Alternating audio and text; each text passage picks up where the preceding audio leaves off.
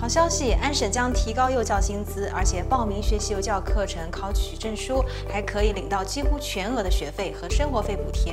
就在今天，CTV 新闻报道称，安省计划提高幼儿教育工作者的工资，以解决人员短缺问题。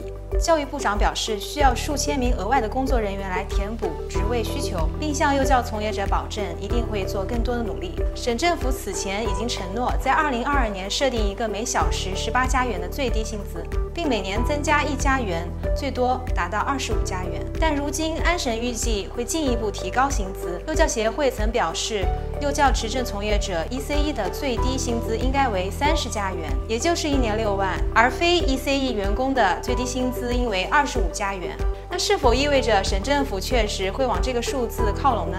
我们认为很有可能，具体政策在近期就会出台，让我们拭目以待。如果您希望从事这一行业，那么好消息，早在二零二二年四月，安省政府便推出了 Better Job Ontario 的安省助学金项目，新移民、自雇、兼职人士均可申请。